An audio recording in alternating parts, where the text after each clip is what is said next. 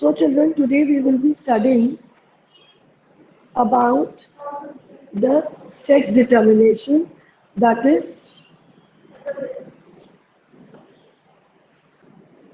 so today children we will be starting the sex determination of the baby which is to be born that the embryo which is inside the mother that is a boy or a girl right. Whether it is a girl or it is a boy. That will be determined by a very simple method. This is a only theoretical method. I am telling you how the sex of the baby is determined. Because people think that still in india people think that this female has given birth to a son or a daughter so that does not depend on anybody neither the mother nor the father because it is just a chance fertilization. But remember the sperm decides that whether the unborn baby will be a girl or a boy. Now let us see how. We all know we have already studied about fertilization. When the sperm that is the male gamete fuses with the female gamete that is the egg then the zygote is formed right everybody has understood this so for this you have to remember that first let us write the male chromosome male and female everybody knows that the chromosomes occur in pairs. Chromosomes occurs always in pairs.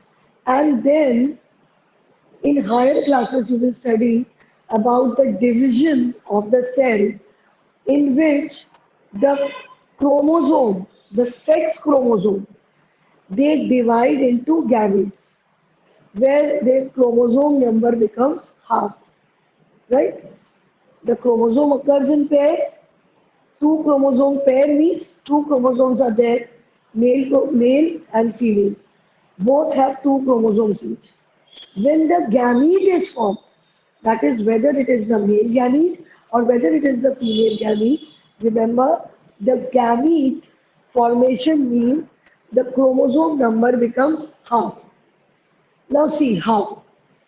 In male, the chromosome pair occurs as X and Y. There are two chromosomes which is in a pair that is X and Y. One X chromosome, one Y chromosome. Right? In the female, there is a pair, but the both chromosomes, they are X. Same type of chromosomes are present. The pair consists of same type of chromosome. So it is very clear in male, the pair of chromosomes are of different type. One is of X, one is of Y, right? In female, what we see, the pair of chromosome has same type of chromosome, both are X. These are chromosome pair. These are sex chromosomes. These are known as sex chromosomes. Why? Because they will determine the sex of the child.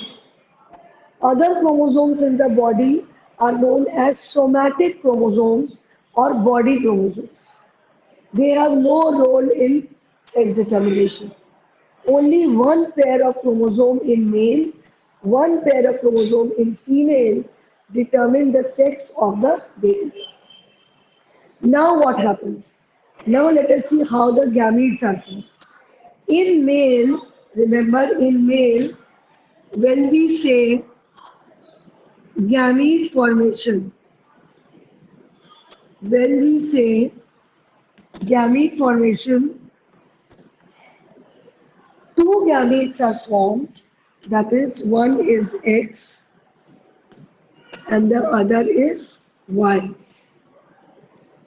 So what is the male gamete formation? What are the male gametes? Sperms. The male gametes you know, they are sperms. So let us write down what are the gamete formation? They are sperms. So sperms are of two types. One sperm, don't write anything, children, just now. First, listen, understand. Then I will give you time to copy down.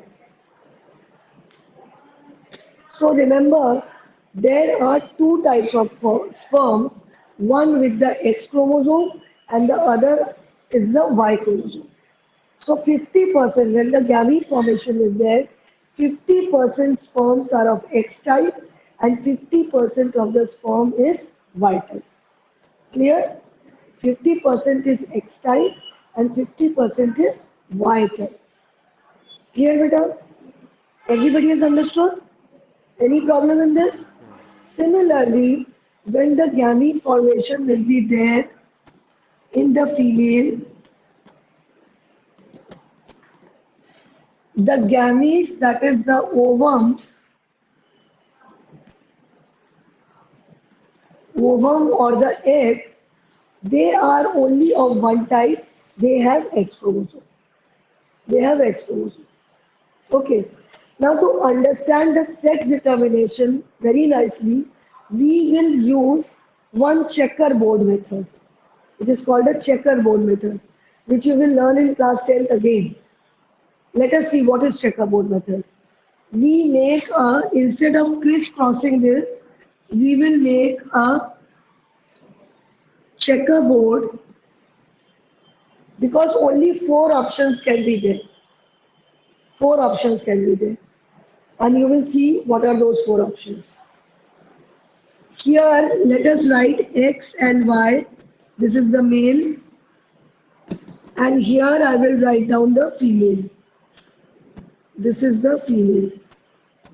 Now, when fertilization takes place, what happens? There is a fusion of X chromosome and Y chromosome. This you all know. Or X chromosome or X chromosome. Actually, in fertilization, what is happening? if you don't say X and Y chromosome, the sperm and ovum are fusing together.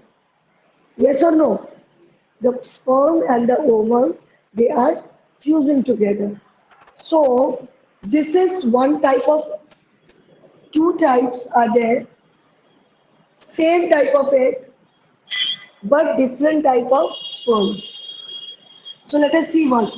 This, this is a sperm. This sperm is fertilizing this ovum. This sperm X, everybody can see, this sperm X is fertilizing this ovum. What is the answer? X and X, we will write X, X. Right?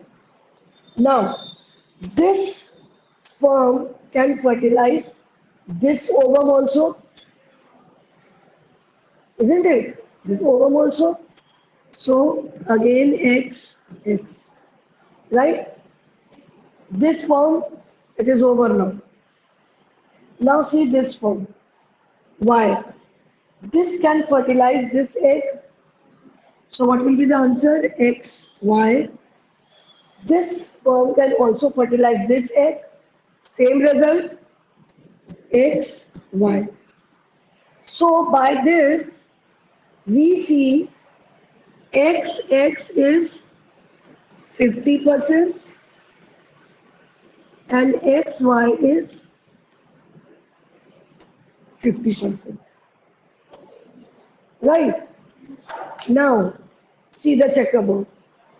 We know the female chromosome is XX. So if the after fertilization, if the result is XX, this will be female girl. So this will be female and this will also be female. See, female is XX. So this will also be female. This will also be female. Similarly, XY you know is male so this will be a male, a boy. Similarly, XY will also be a male. So how is the sex determined? Have you understood now? So when the sperm and the egg fuses, it results into fertilization. The baby is formed.